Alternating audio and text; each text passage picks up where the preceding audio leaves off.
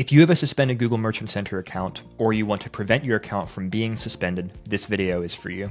Hey, this is John Horn from StubGroup. We're the number one resource for fixing Google suspensions and policy violations, and we're also one of the top premier Google partner digital advertising agencies in the world. And the reason that I'm able to speak to you about what to do to fix Google Merchant Center suspensions is because we've been hired by countless businesses over the last decade to help them fix their Google Merchant Center and Google Ad account suspensions. And so we've learned how to deal with Google policies, what to do, what not to do over time. And I'm going to share some insights with you today. Now, I'd like to be able to say here's a, a one stop shop solution to all your problems. Follow this checklist of 10 things, and you will for sure fix your problem. Unfortunately, it's not that simple because often what we see is there are different nuances with situations. And so we have to take what we understand about best practices and what to fix. And then we have to figure out the, again, those unique nuances of each situation and do both kind of the art and the science of understanding how to comply with Google's policies and how to fix a specific situation. But that said, hopefully what I'm going to share with you today will be helpful to you if you are experiencing a problem. So let's go ahead and go through um, Google's policies. I'm going to highlight the ones that most commonly are referenced when Google says you have violated a policy and suspends your account. And we'll talk through some of the nuances of each one. So, first of all, under Google's heading of prohibited content, they have a couple different options here. Um, counterfeit goods is one that comes up, and this is one of the more common suspensions that we see when businesses hire us to get them unsuspended. Essentially, Google is saying that they think that you are selling counterfeit goods. Um, most often, we'll see this pop up for resellers. Let's say people in the luxury space, maybe luxury watches, luxury handbags, things like that. And so they've got um, the names of various um, designers or various brands on their website because they're reselling those products. And Google sees those things and flags the account saying, hey, we think you might be selling counterfeit goods. So there's a couple of things to watch out for. Um, one is if you have really massive discounts on your products, especially compared to someone being able to purchase those same products elsewhere on the web, um, then that can flag you because that is a signal for Google that there might be something fishy going on, even if there isn't, even if there's a genuine reason for why you're able to present such a discount.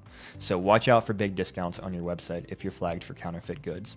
Um, additionally, you need to make it very clear on your website uh, that you are not the brand that you are reselling. So if you're selling Nike gear and you are not Nike, you want to have disclaimers on your website, probably in your footer, on your product pages, making it very clear what your relationship is and how you are able to sell genuine Nike products through your website.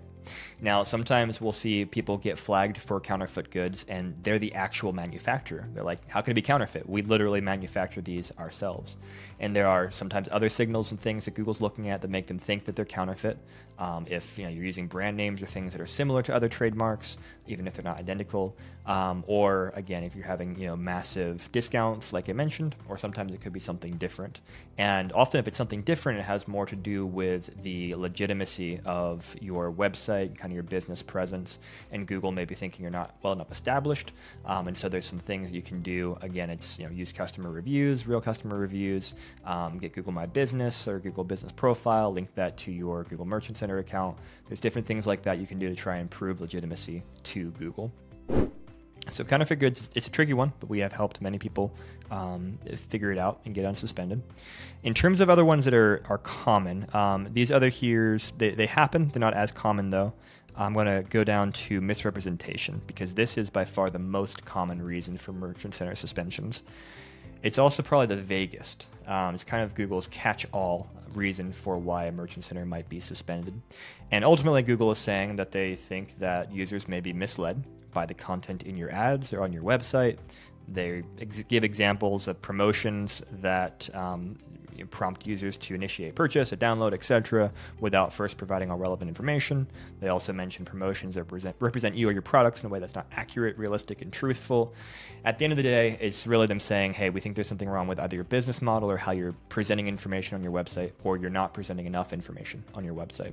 That last point is often critical. So um, many businesses will come to us and they are not using the necessary policy pages on their website. So Google makes it very clear you need to have a refund policy. You need to tell people what happens if they return a product, whether they can or can't return a product, um, what your shipping policies are, how much is it going to cost, how long is it going to take to get that product to them, how long is your handling time, what's your cutoff date.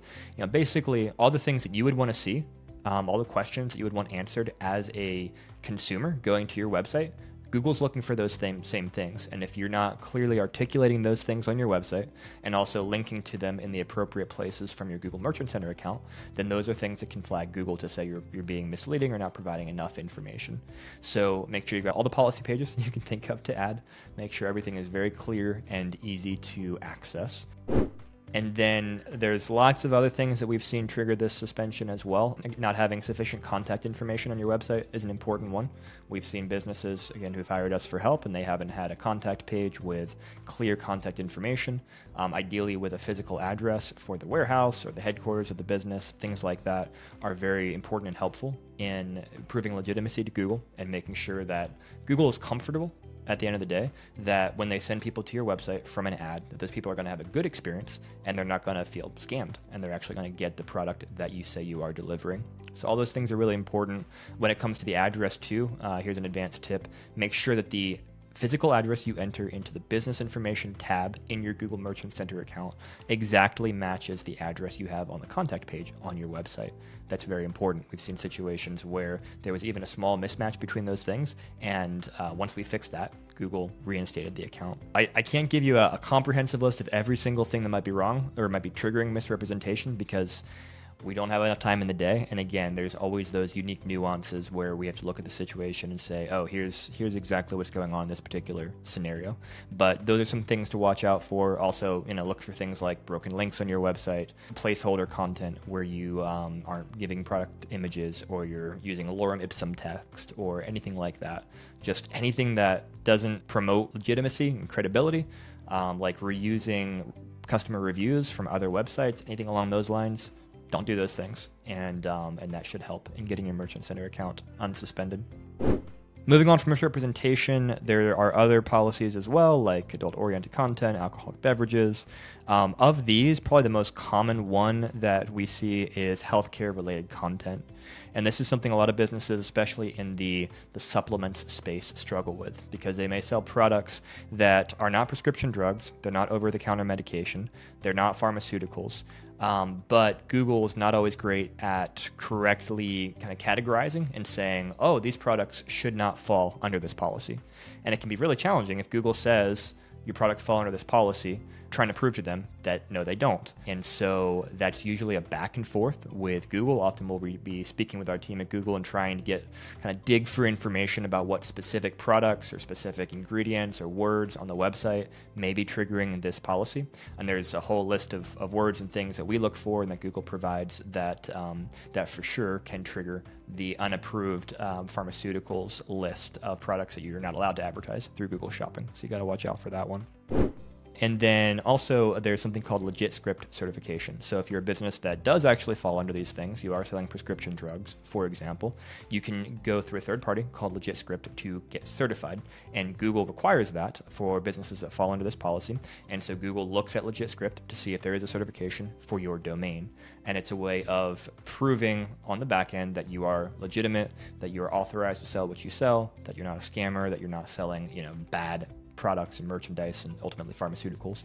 And um, so that's something you want to go through um, if it if it applies to your situation. Again, for some sites like supplements websites, they might not actually um, be eligible for LegitScript because they're not selling pharmaceuticals those are the, the three most common policies misrepresentation, counterfeit goods, and um, healthcare and services. There's another one that's not really listed on here, but it's basically um, you know, website um, is doesn't have sufficient content or doesn't work properly. And usually those types of suspensions are, again, you don't have all the right um, pages on your website, your checkout process is broken, you're using placeholder images or placeholder text, it's just not ready for prime time. And so you've got to make it ready for prime time and get everything working perfectly in order to fix that type of suspension. So when it comes to how do you actually go ahead and appeal um, this type of suspension, it's very straightforward. Unlike with ad accounts, where you write out a whole long appeal and there's a whole process of what you do and what don't want to say and what documentation you do or don't want to include. With Merchant Center, um, again, it's more simple. There's a button that you click in your Merchant Center account to request a review. That goes to Google, they review it, they come back and tell you whether or not they accept that you have fixed the problems. Now, there are some times where we're also able to um, get some additional information from our team at Google about what might be causing a suspension. Can't promise anything. I can't promise that they're going to say, here's exactly what the problem is, but we usually dig and sometimes we can get tidbits of information that are helpful in fixing the problem and uh, get making sure that you're fully compliant with Google and that we're not accidentally triggering Google's algorithm to, to think that something is non-compliant when it actually is compliant. Hopefully that was helpful to you. If you, again, if you have a suspension right now, uh, we'd love to assist. You could reach out through stubgroup.com, let us know what's going on. We'll talk through and figure out if it's a situation that we believe we can help and assist you with and get you back online with Google. And we have different ways that we use to try and get you back online as quickly as possible. So please reach out. We'd love to have a conversation. And if you want more information like this, we'll have other videos somewhere up here that you can uh, click on, tap on to learn more about uh, Google Merchant Center policies and other policies and ultimately how to dominate with Google. So go watch another video or subscribe to our channel for more content just like this. Take care.